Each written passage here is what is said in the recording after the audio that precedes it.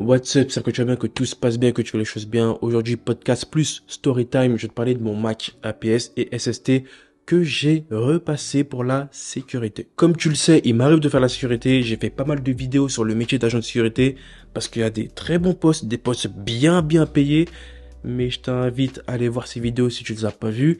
Et là, là, eh ben, j'ai passé mon Mac. C'est-à-dire, j'ai renouvelé ma carte pro et aussi mon SST en même temps il faut vraiment que je t'en parle parce que c'est incroyable. C'est incroyable, c'est n'importe quoi, mais c'est comme je l'imaginais.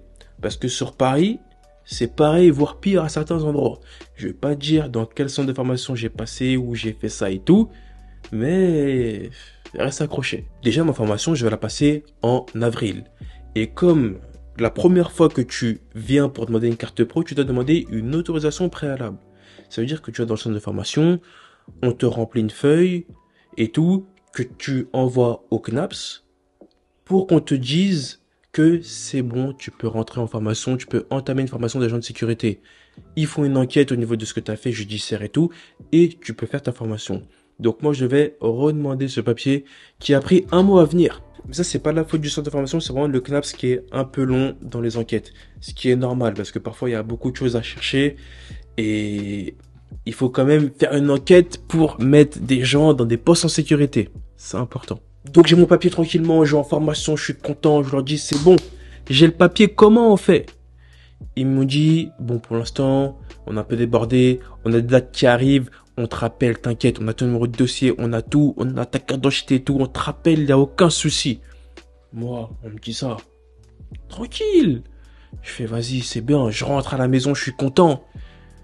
Mais t'en remets, hein juin, juillet, aucun appel, rien. Tu vois, en même temps, je fais des tournages, je fais des projets, j'ai des choses en vidéo, je me déplace partout. J'oublie un peu, j'oublie. Après, je me suis dit, attends, mais on pas appelé eux.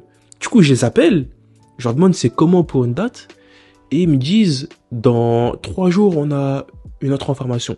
Dans trois jours. Pour le Mac SST Mac APS. Tout ce que je voulais. Tu vois, je les ai appelés, ils m'ont dit ça. Et directement, je suis passé. Directement, j'arrive, je passe. Tu vois Dès que je passe, je tombe sur le directeur du centre. Un espèce de mec qui fait 145 kilos, qui a du mal à marcher et tout. Il là, il me dit, ouais, euh, pourquoi t'es là? Il me dit ça tout de suite. Moi, je dis bonjour. Bonjour, vous allez bien? Il me dit, pourquoi t'es là? J'ai dit, écoutez, j'ai appelé. On m'a dit qu'il y a une date de formation euh, qui est temps, qui est là, et je vais m'inscrire. Tu vois? Il me dit, oui, mais là, on est, on est occupé avec les JO, avec tout ce qui se passe, on est débordé, c'est pas le temps de fin de formation, faut attendre septembre. Parce qu'on sera fermé en août. Moi, tu vois, je le regarde. Et je lui dis, écoute, j'ai appelé. J'ai appelé là. J'ai appelé, on m'a dit qu'il y a une place. Et euh, voilà, je, je, je, vais prendre cette place. Sachant que de bas, je t'ai passé en mai. On m'a dit qu'on allait me rappeler, on m'a pas appelé. Donc là, j'ai appelé, il y a une date, je viens. Il me dit quoi? Il me dit, oui, mais il y a plusieurs personnes qui nous appellent. On nous appelle tous les jours, donc on sait pas si c'est vrai ou pas. On sait pas qui vous êtes. Vous, vous êtes qui d'ailleurs? Il me dit ça. À partir de ce moment-là, je, je main sur, sur, sur la tête. Je fais, ah ouais. Je fais, lui, il va être trop, lui, il va être très, très relou. Tu vois? Il y avait une chaise je me suis assis, parce que moi, quand je me lève, tu vois, je commence à faire des gestes, c'est pas bon. Je me suis assis, je lui ai dit, écoute, j'ai appelé, tout ce que je veux, c'est payer ma formation et me barrer d'ici.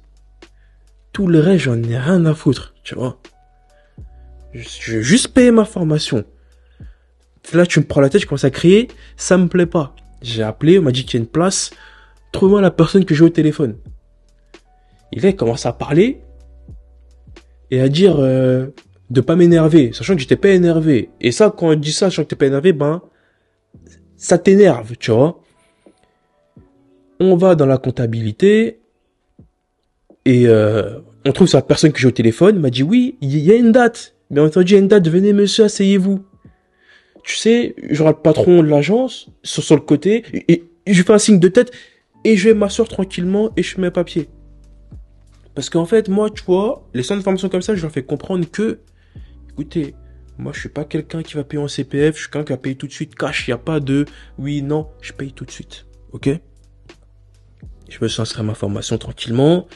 Et une fois que je m'inscris, je sors euh, de la compta avec ma feuille pour dire que c'est bon, je commence tant. Le directeur de l'agence, il arrive.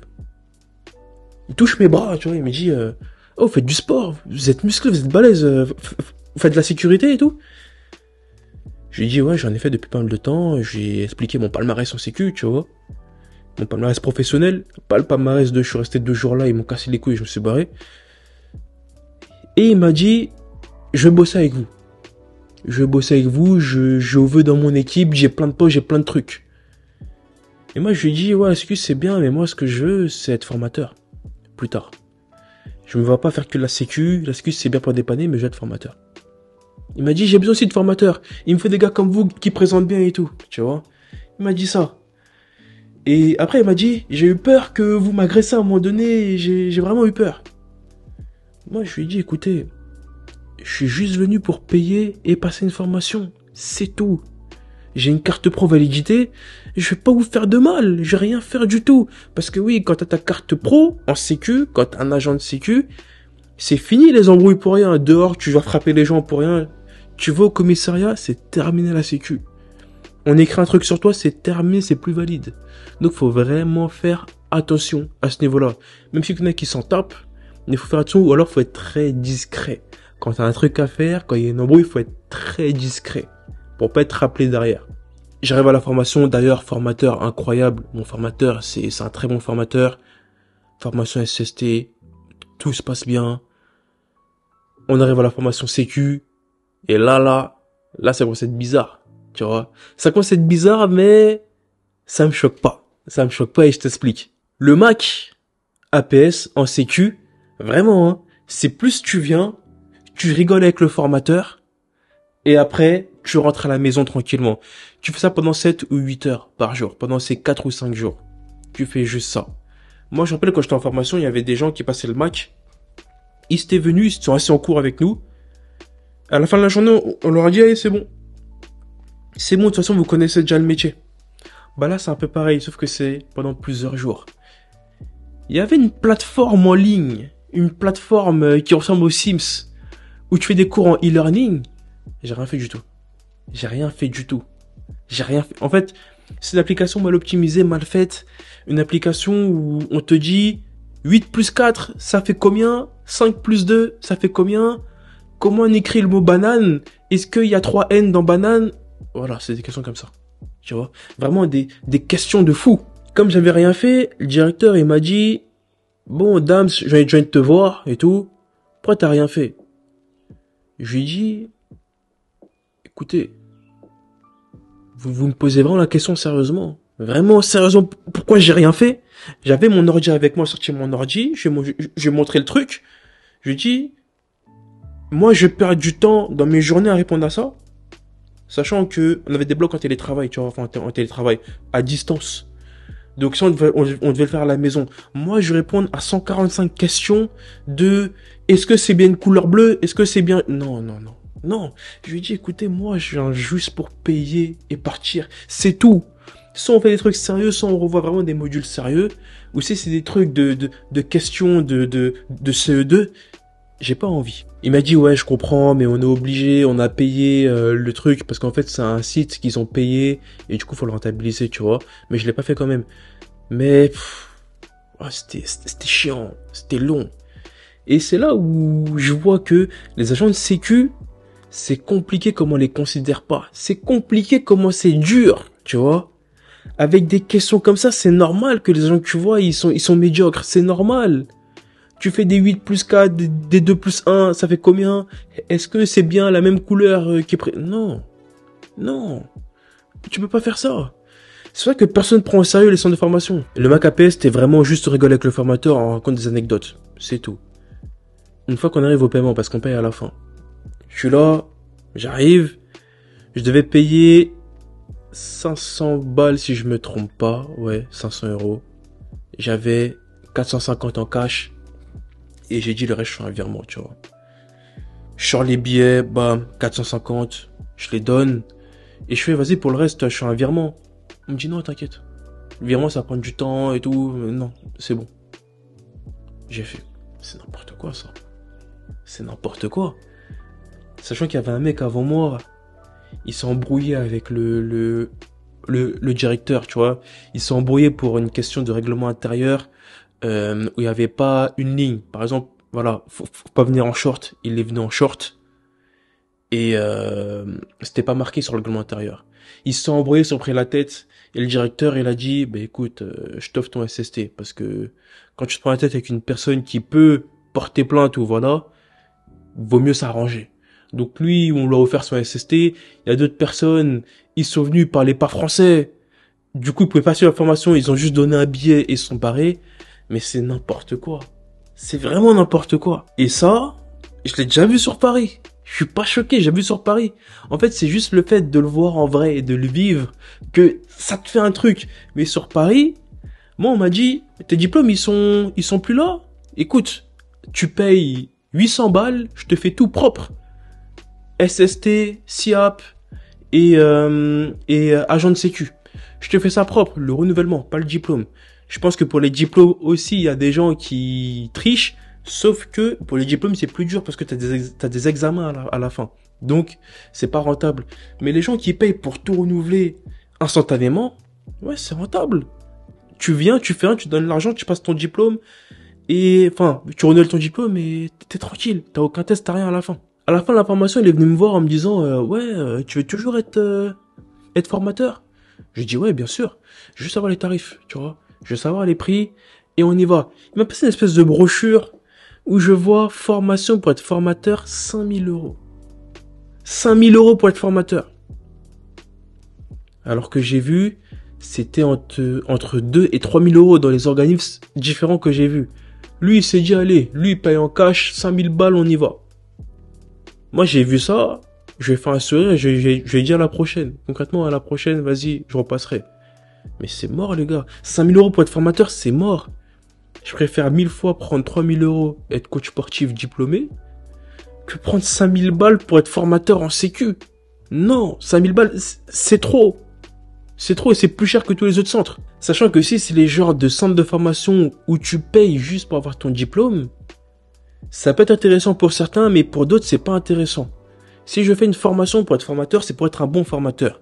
Même si j'estime avoir des bonnes compétences, une pédagogie, quoi que ce soit, des histoires à raconter, c'est bien, mais je veux quand même me former et avoir une formation de qualité.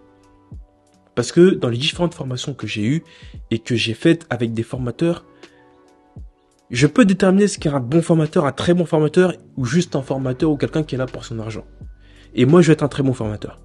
Je vais être un très très bon formateur. Donc pour ça, il me faut une bonne formation. Donc je peux pas me permettre de venir, arriver à des endroits, donner l'argent et me barrer. C'est dommage. Pour un centre de formation, c'est dommage parce que ça tue l'image. Même si tu es bien noté parce que les gens, ils voient une bonne note. Tu payes, on donne ton diplôme sans rien faire. Bah oui, tu mets une bonne note. Mais ça, c'est n'importe quoi. Comme dedans, il y a des cours d'anglais dedans. Il y a des cours d'anglais pour avoir des diplômes, des niveaux d'anglais. Moi, c'est un truc qui m'intéresse de fou, ça. Vraiment qui m'intéresse de fou. Mais malheureusement, je dois plus faire de l'argent maintenant pour vivre que aller passer des cours d'anglais, tu vois. Mais c'est un truc que je compte faire. Bah, je sais que dans le centre de formation, je pourrais pas le faire. Je me dis, si les cours sont aussi médiocres que ce que j'ai vu et de ce que j'ai eu, c'est mort.